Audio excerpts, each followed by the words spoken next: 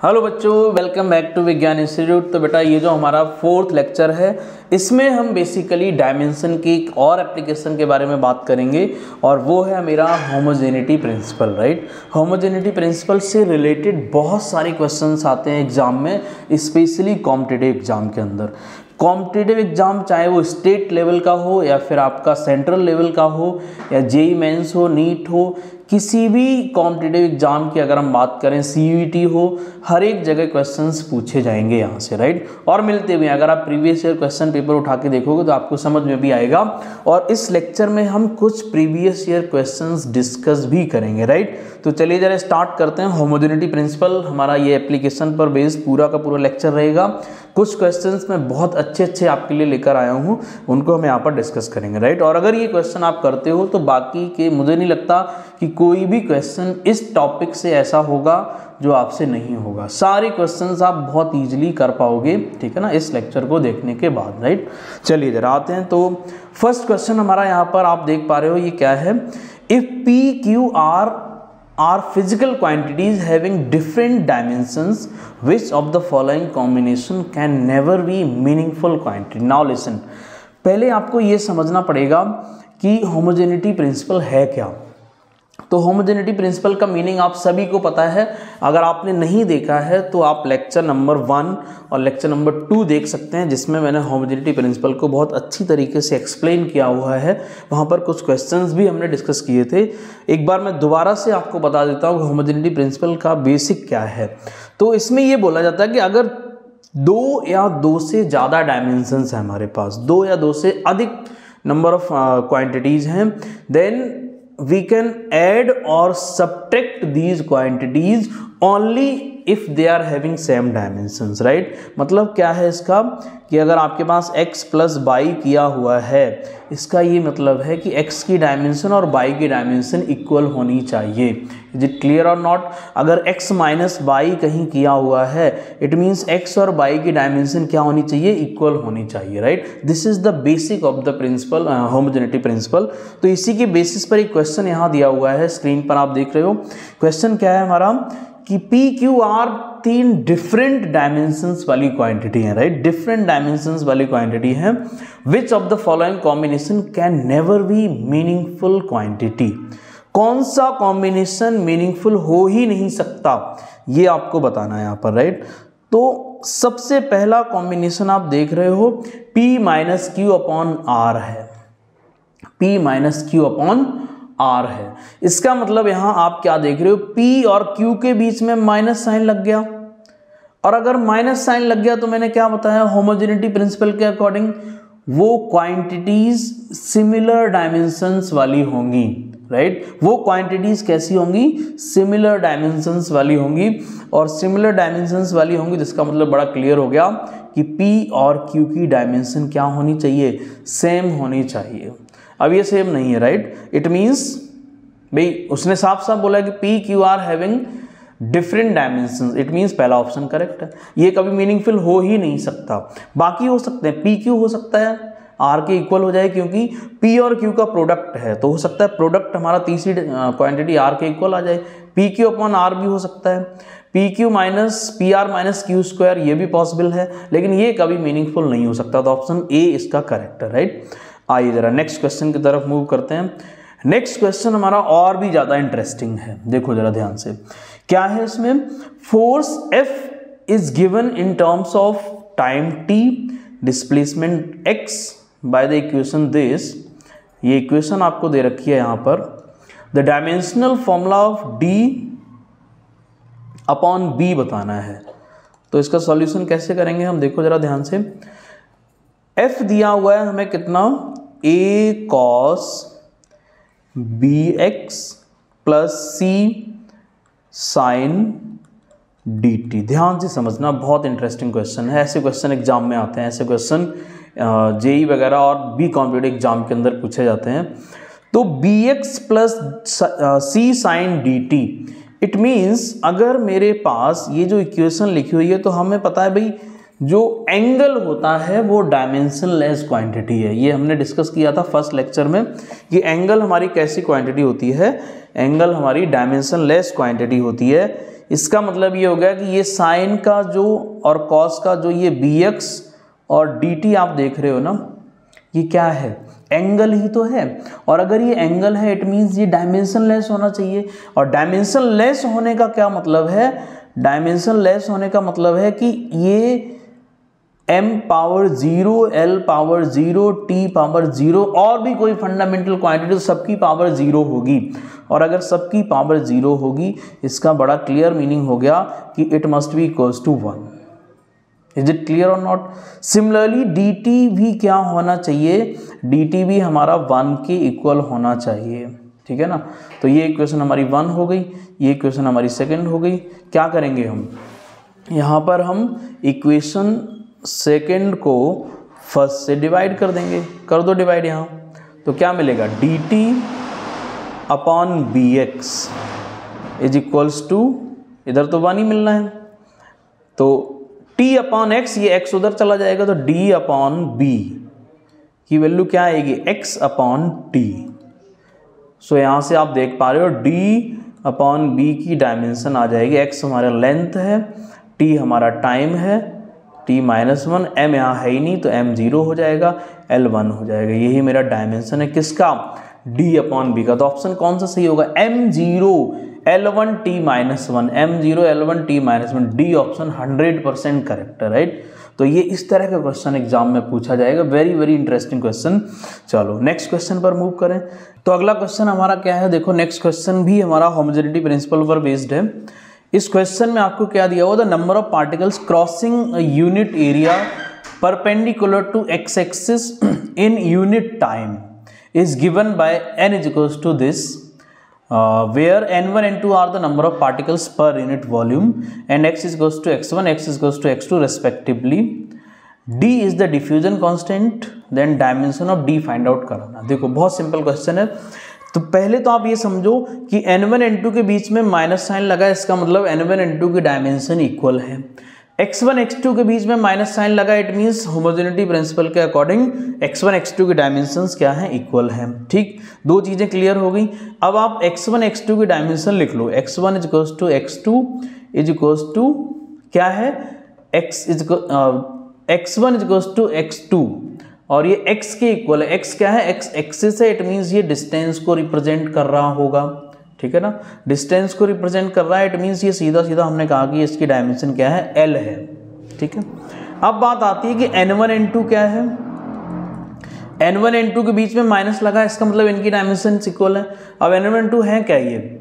N one N two है हमारे basically where N one N two are the number of particles per unit volume तो number of particles number of particles upon volume per unit volume है। तो number of particles का तो कोई dimension नहीं है। वॉल्यूम का डायमेंशन हो गया एल थ्री ऊपर जाएगा तो एल माइनस थ्री हो जाएगा सीधा सीधा। ये एन वन एन टू का डायमेंशन हो गया। अब बात आती है कि एन क्या है। एन इसने कहा कि number of particles crossing unit area and in unit time it means number of particles हो गए अपॉन एरिया हो गया, और यूनिट टाइम हो गया। तो इसका डायमेंशन क्या हो जाएगा? नंबर ऑफ़ पार्टिकल्स का तो कोई डायमेंशन नहीं है।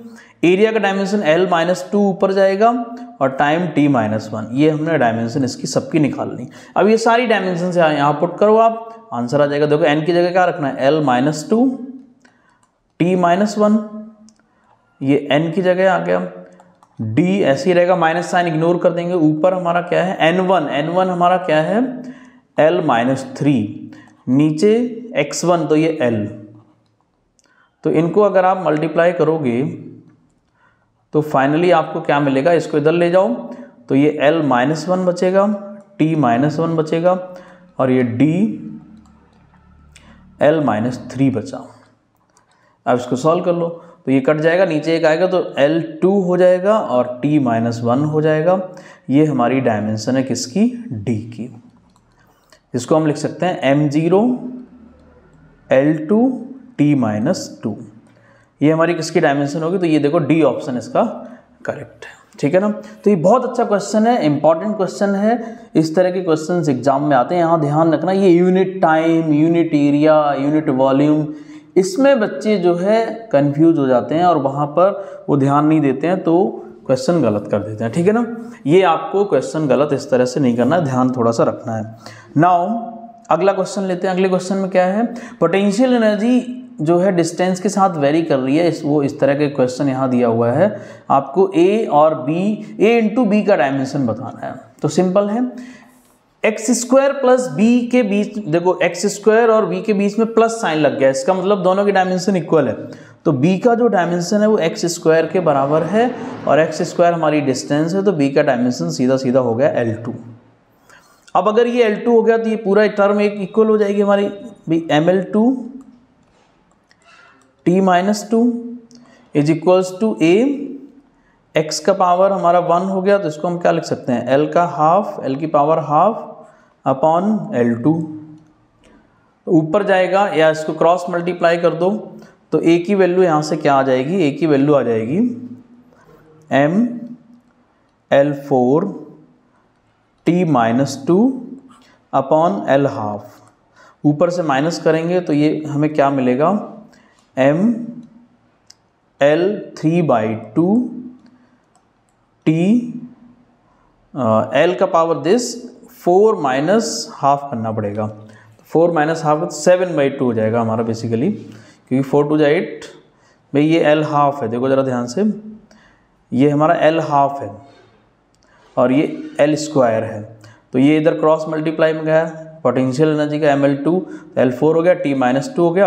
एल ऊपर जाएगा तो four minus one by two इसको हम सॉल्व करेंगे तो एट माइनस सेवन ये सेवन बाई टू आएगा not three by two it is what seven by two ये आ गया। और टी का पावर कितना है? माइनस टू ये किसकी वैल्यू आ गई? ए की। हमें पूछा है उसने ए इंटू बी तो ए कितना है? M L seven by two T minus two और बी कितना है? एल टू तो ये कितना हो जाएगा? पावर ऐड हो जाएगी टू टू जब फोर नाइन बाई टू हो जाएगा। तो ये आ जाएगा मेरा answer M one L nine by two T minus two तो ऑप्शन हमारा डी एकदम करेक्ट हो जाएगा इसका, आप ध्यान से देखो, ठीक है ना? क्या हो गया? ऑप्शन नंबर डी करेक्ट है। ठीक? तो ये हमारा आ गया। अब हम बात करेंगे नेक्स्ट क्वेश्चन की। नेक्स्ट क्वेश्चन हमारा काफ़ी इंटरेस्टिंग क्वेश्चन है।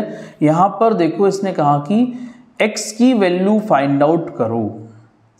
ये इक्वेशन दे रखी है हमारी इंटीग्रेशन इक्वेशन डी टी यहाँ पर हमें पता नहीं, ये टाइम ही है वैसे तो टी टाइम है। ए नहीं पता ए क्या है? तो इसका डायमेंशन हम फाइंड आउट कर लेंगे बिकॉज़ यहाँ माइनस साइन लगा, इसका मतलब टी अपॉन ए हमारा वन के इक्वल है। तो यहाँ से ए का डायमेंशन क्या आ जाएगा? टी के इक्वल आ गया। ठीक? और वैसे भी ये पूरा टर्म हमारा डायमेंशन लेस है।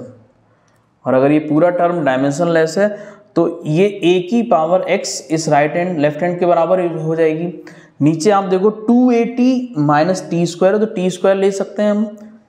क्योंकि डायमेंशन इक्वल होंगे और टी स्क्वायर रूट के अंदर है तो वो बचेगा टी और ऊपर एक टी ऑलरेडी है। तो आप इसको देखो इंटीग्रेशन का तो कोई कॉन्सेप्ट ही नहीं है यहाँ पर डायमेंशन में। ऊपर टी नीचे टी स्क्वायर आएगा रूट के अंदर और इधर बचेगा ए का पावर एक्स क्योंकि साइन हमारा डायमेंशन साइन कॉस टेन ये डायमेंशन लेस होते हैं एक्सप्रेशन तो ये हमारा टी अपॉन टी बचेगा one is equals to A का पावर एक्स तो इसको हम लिख सकते हैं वन को क्या लिख सकते हैं टी का पावर ज़ीरो और इधर लिख सकते हैं टी का पावर एक्स क्योंकि ए का डायमेंशन टी है तो एक्स की वैल्यू सीधी सीधी आ गई हमारी क्या ज़ीरो एक्स की वैल्यू क्या आ गई ज़ीरो आ गई. क्लियर तो ये हमारा क्वेश्चन हो गया. अच्छा इसके बाद नेक्स्ट और क्वेश्चन है हमारे पास एक. What are the dimension of A upon B in the relation this ये ए एम यू इंजीनियरिंग का क्वेश्चन है प्रीवियस ईयर में आया हुआ क्वेश्चन है, देखो कितना इजी क्वेश्चन है। फोर्स को यहाँ रिलेट कर रखा है तो हमने क्या करना है? भाई, हमें पता है प्लस साइन लगा हुआ है होमोजेनिटी प्रिंसिपल क्या कहता है? कि प्लस साइन जब लगेगा तो डायमेंशन इक्वल होंगे। It means A root X is equals to B T square तो यहाँ से ए अपॉन बी सीधा सीधा आपको दिख रहा है T square upon root X हो गया। और ये T square upon root X का मतलब क्या हो गया? एल हाफ़ माइनस का और T two L half T two कौन सा ऑप्शन होगा? एल हाफ़ टी टू कहाँ है? ये है B option B option correct होगा L minus half T two next देखो नेक्स्ट ये इक्वेशन दे रखी है आपको एक equation of the state of a gas ये बेस्ट बंगाल जेई का क्वेश्चन है। अच्छा क्वेश्चन है ये भी. तो बी और सी का ए और बी का डायमेंशन बताना है। तो देखो यहाँ ये आपको माइनस साइन लग रहा है इस एक्सप्रेशन में। It means B is equals to क्या हो जाना चाहिए? बी स्क्वायर हो जाना चाहिए। तो बी हमारा वॉल्यूम है तो ये एल थ्री हो गया। और बी स्क्वायर तो यहाँ से बी की वैल्यू क्या आएगी? बी की वैल्यू आएगी एल का पावर थ्री बाई टू ये बी का डायमेंशन आ गया। ए का डायमेंशन कैसे निकलेगा? अब इसको इक्वल कर दो। P is two A upon B Q क्योंकि क्या लगा हुआ है? प्लस साइन लगा है। तो यहाँ से आ गया मेरा A is two P B cube P pressure है, ये सब लिखा हुआ है। प्रेशर वॉल्यूम टेम्परेचर तो प्रेशर की डायमेंशन हो गई M L minus one T minus two volume का क्यूब है। वॉल्यूम का क्यूब तो मतलब एल के पावर नाइन हो जाएगी। क्योंकि थ्री एल एल थ्री होता है और उसका भी क्यूब है। तो क्या आ गया? प्रेशर का डायमेंशन क्या आ गया? प्रेशर का डायमेंशन आ गया एम प्रेशर नहीं ए का डायमेंशन ए का डायमेंशन क्या आ गया? एम एल एट और टी माइनस टू ए ये आ गया बी ये हो गया तो ऑप्शन कौन सा सही है? ए ऑप्शन सही हो गया, ठीक है ना? तो ये हमारा अगला क्वेश्चन देखते हैं जरा। अब देखो, अगला क्वेश्चन बहुत ही इंपॉर्टेंट है और ये एग्जैक्टली वैसा ही क्वेश्चन है जैसा हमने फ़र्स्ट क्वेश्चन किया था इस लेक्चर का राइट और ये जेई मैन का क्वेश्चन है। लास्ट ईयर जेई मैन में आया हुआ क्वेश्चन है ऑनलाइन एग्ज़ाम में। तो क्या है A B C D are four different physical quantities having different dimensions none of them are dimension less but we know that the equation this hold true then which of the following combination is not meaningful तो इन चारों में से आपको बताना कौन सा meaningful नहीं है। ये क्वेश्चन आपका होम टास्क है, इसको आपको क्या करना है? सॉल्व करना है और कमेंट बॉक्स में इसका आंसर बताना है कि कौन सा ऑप्शन हमारा करेक्ट ऑप्शन है राइट इसमें भी होमोजेनिटी प्रिंसिपल लग रहा है और इसके जैसा क्वेश्चन हमने फ़र्स्ट क्वेश्चन कराया है इसी लेक्चर का। उसको आप समझो और इस क्वेश्चन को आप सॉल्व करके कमेंट में बताओगे कि what is the answer of this question right so ये हमने होमोजेनिटी प्रिंसिपल से रिलेटेड क्वेश्चंस किए हैं। अगले लेक्चर में हम एक और एप्लीकेशन बेस्ड क्वेश्चंस लेकर आएँगे और जो है तब हम नेक्स्ट जो डायमेंशंस का एप्लीकेशन है उसको डिस्कस करेंगे ठीक है? तब तक इसको करो एंड uh, मिलते हैं नेक्स्ट लेक्चर में। So thank you have a nice day